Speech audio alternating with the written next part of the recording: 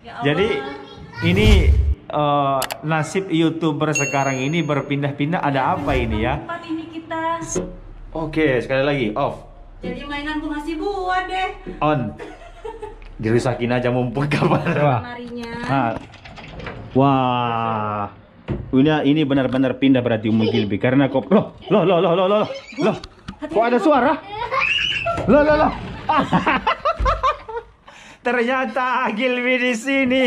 Tapi yang di sini saranin pakai aplikasi. Aplikasi Ya. itu berapaan? Eh, semuanya total 4, 53. 53 itu dengan Ada pajak. pajaknya. Oke, berarti murah banget dong ini ya. Tapi kalau datangan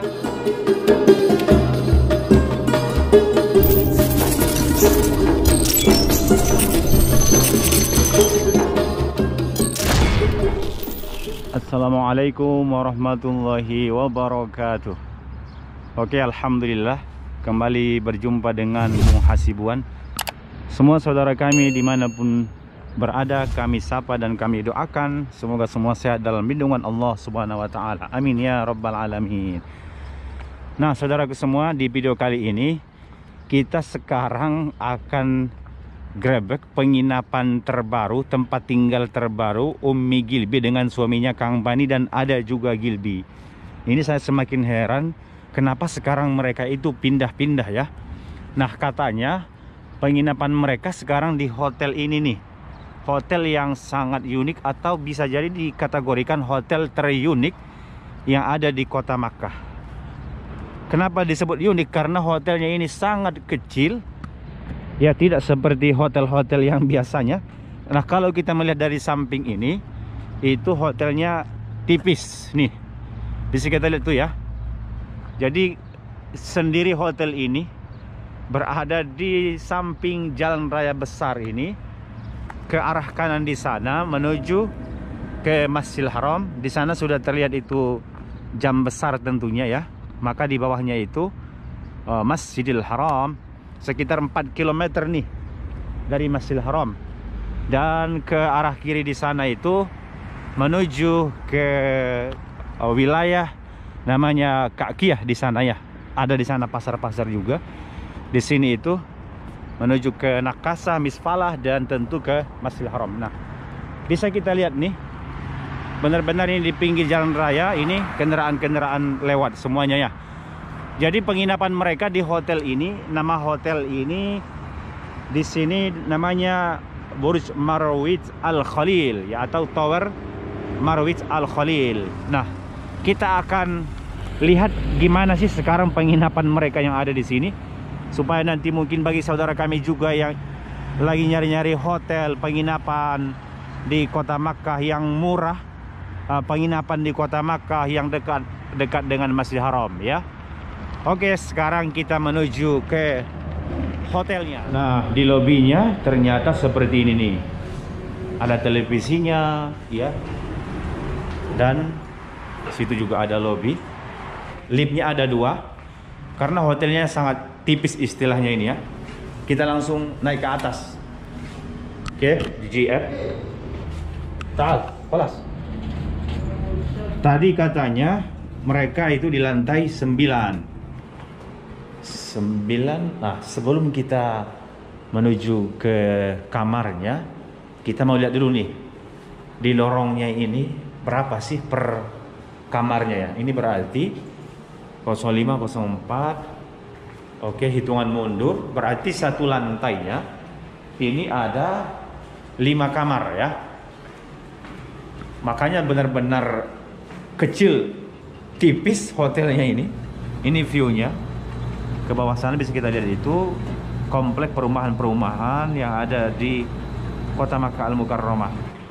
Berarti satu lantainya itu lima kamar. Kalau ini kalau ini 10 lantai otomatis berarti 50 kamar semuanya. Sangat-sangat banyak berarti ya. Dengan kondisi hotel yang sangat kecil kita lihat ada di sini CCTV dengan lampu-lampu semua ini biasanya kalau ada asap itu bunyi kalau ada yang merokok asap yang banyak nah tadi katanya Umi Gilbi ada di sini 904 ada belnya nggak ya Oh, ini bukan bel ya. Lampu. Oh, lampu juga. Berarti tidak ada bel. Mudah-mudahan tidak salah. Assalamualaikum.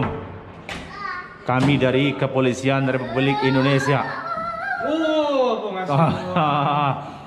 Masya Allah. Ini ini benar ini. Iya. Ini digerebek. terus ini. Soalnya ke mana anda pergi saya akan datang. Terus ya. Perasaan kita ketahuan terus, Bi, ada di mana-mana. Nah, benar.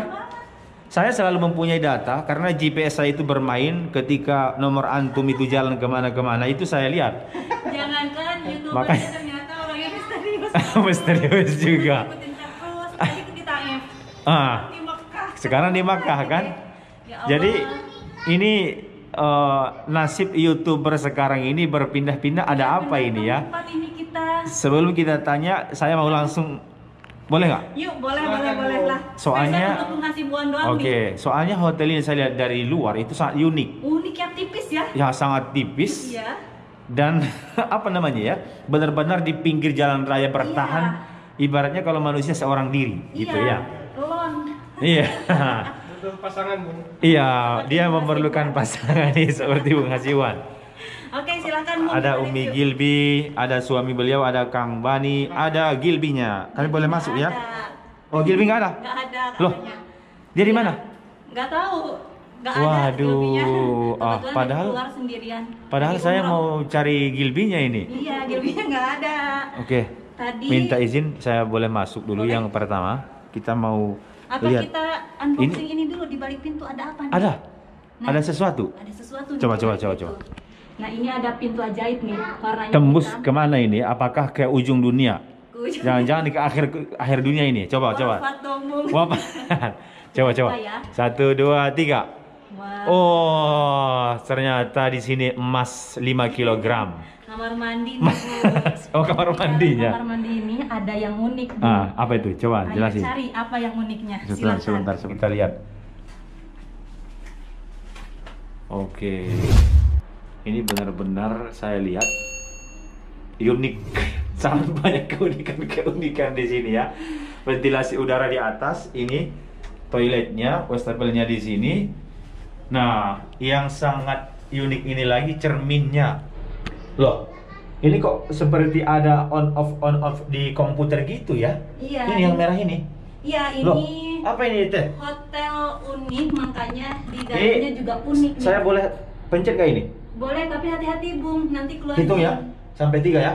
Satu, dua, tiga. Dor! Oh, ternyata lampu. Kirain saya kaget saya serius kaget. Kaget kan? Iya. Saya keluar jin. Kalau rajin. oh, keren keren keren keren. Sekali lagi. Saya penasaran soalnya.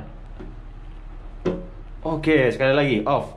Jadi mainan Bung Hasibuan deh. On. Dirusakin aja mumpung kapan lagi. Oke. Lanjut.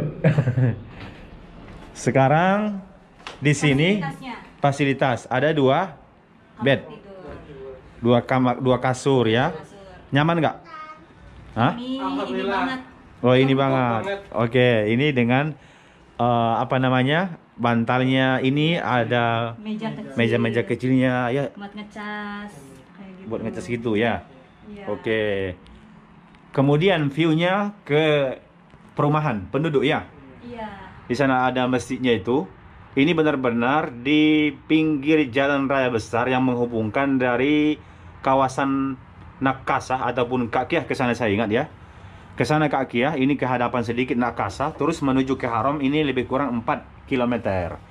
Ada lampunya, ada televisi, ini nyala. Ya, Cermin, cerminnya, meja rias. meja riasnya, Dan silakan Bung Hasibuan Sebentar. mau kulkas coba kita bongkar apa? dulu. Pilih aja ya. Saya mau- banyak makanan ini. Ayam campur tomat coba. Ayam campur tomat. Hah? silakan Bung mau makan apa? Kosong ternyata. Sepi Nah, Bung. Sepi ya? Kayak Bung Hasibuan yang kesepian. Iya betul betul betul banget itu. Aduh. Aduh, kerasa banget ke hati saya itu kata-katanya. Oh, itu berarti kulkasnya. Ya. Sekarang kita mau buka lemarinya. Kita mau buka lemari. Ini, Bung. Coba. Lemarinya. Nah. Wah. Ini ini benar-benar pindah berarti Ummi Gilbi karena kok loh loh loh loh loh loh loh kok ada suara? Loh loh loh. Ternyata Gilbi di sini. Ada di dalam di dalam rumah masih Ya. Dia itu di dalam itu nggak kepanasan. Hah? Masih bisa bernapas ya?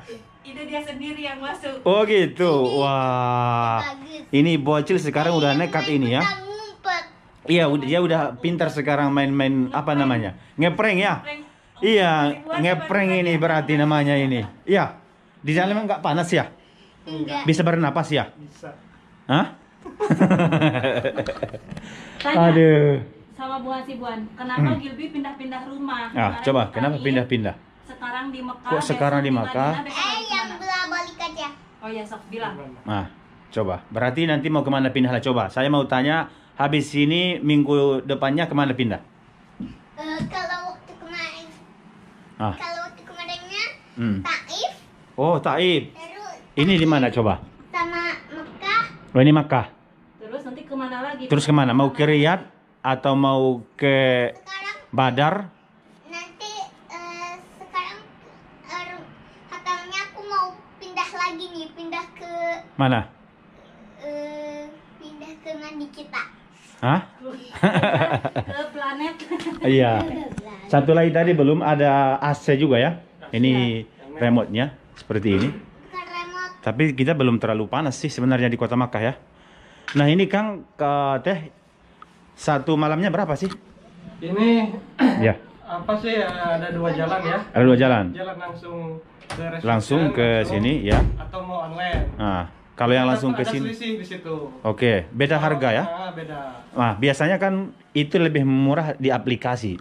Tergantung Benar nggak? sih. Kemarin waktu di Taib juga kan Ah. lebih murah datang langsung. Ya, oke. Tapi yang di sini saranin pakai aplikasi. Aplikasi Iya. itu berapaan? Boleh nggak disebutin? Eh, semuanya total 4, 53. 53 itu dengan Ada pajak. pajaknya. Oke, berarti murah banget dong Iya. ini ya. Tapi kalau datang langsung Nah, itu permainan reception. Oke. Dia ngasih 70 minta. masih 70, berarti tambahan 20 real ya. Iya, hampir. Tapi ini saya sangat nyaman. Jadi kalau mungkin bagi kawan-kawan yang tinggal di Saudi ketika nanti datang ke kota Makkah, Ya, mau ke haram. rekomendasi ini. Iya, karena ini pun tidak jauh dari Masjid Haram hanya 4 km. Saya yakin ini sangat hemat budget ya. Hemat. Bisa nanti mereka sewa di sinilah. Dan jalannya pun ini kalau naik taksi kayaknya ke haram paling 5 real ini. Ya enggak? Kecuali kalau puncak musim haji mungkin 10 real lah ke haram sana ya. Oke. Akhirnya kita selesai ngelihat bocil yang ngeprank kita tadi itu ya. Sambil kita review bagaimana penginapan yang ada di kota Makkah nih, namanya. Semoga video ini bermanfaat. Jangan lupa dukung terus channelnya Ummi Gilbi dan juga Bung Hasibuan dengan cara di like. Jangan Hmm. lupa like, comment, and subscribe ya. Ah. Dan subscribe itu gratis. Ah. Ini ada nih di atas. Wassalamualaikum warahmatullahi wabarakatuh.